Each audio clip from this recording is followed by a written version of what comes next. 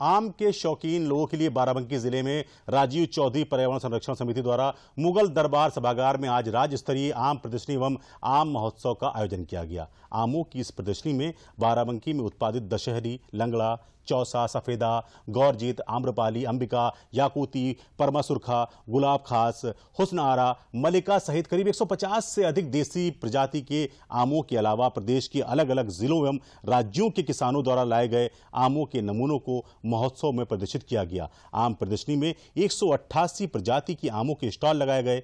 आमों की नई नई प्रजाति को देखकर लोग काफ़ी उत्साहित नज़र आए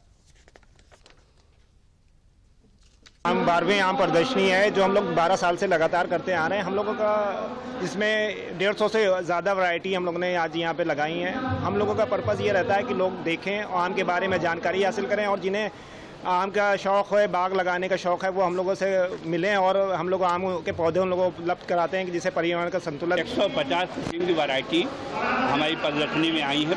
ये बारहवीं प्रदर्शनी है। आम बहुत ही नायाब तोहफा है। हमारे यहाँ इसको फलों का बादशाह कहा जाता है। ये सबसे मीठा लजीज खाने में इसको खाने के बहुत से लोग शौकीन हैं। अलग अलग किस्म की सबसे पसंद है।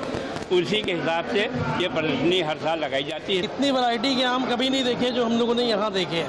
और ये बाराबंकी ज़िले में काफ़ी अच्छा ये काफ़ी अच्छी प्रदर्शनी मानी जाती है। तो बहुत खुशी हुई यहाँ आके देख के।